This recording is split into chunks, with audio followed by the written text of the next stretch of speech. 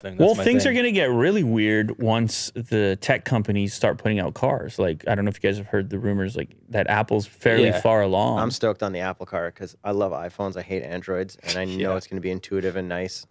It's gonna be but it's so- probably going to lack personality, just like your iPhone. Ooh. I don't know. My my, Like- my like- iPhone's great. I love it. It's not going to look like a prowler. It, it's the But opposite in- of your tasting cars. It's very strange. Everybody has an iPhone. the iPhone works. I just like. I hate. You know how I'm doing my infotainment videos. Mm-hmm. I hate bad infotainments. I hate bad interfaces. Sure. Apple makes good interfaces. Yeah. In It's my a- opinion. It's just funny, like, if you do the comparison to the nice thing about automotive, one of the reasons I think I get excited about it because there's so many different approaches.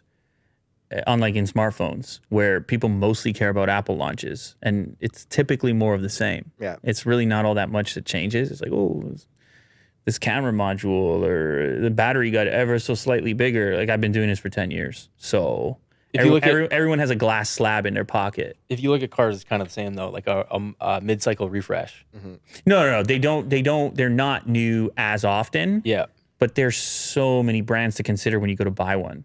There's many people that every single year for the last ten years have just bought a new iPhone, and that's it. They don't even look, think about it, that's nothing. And see, I- that's what I think electric cars are. Electric cars are just phones, and they're disposable. Yeah. That's the problem. And this with is my point why you cars. should hate electric cars. No, and no, I do. no. I, We- this is why I don't think like that is a problem with them, New for sure. cars this much. We like old used cars. Yes. But same I- same idea. yeah. is that is that if the Apple Car becomes as ubiquitous in the car landscape as the iPhone did in the phone landscape, pre iPhone, you had so many brands competing and different takes. Like you had weird flipping things, and you had it was very um, undecided what the form factor was going to be.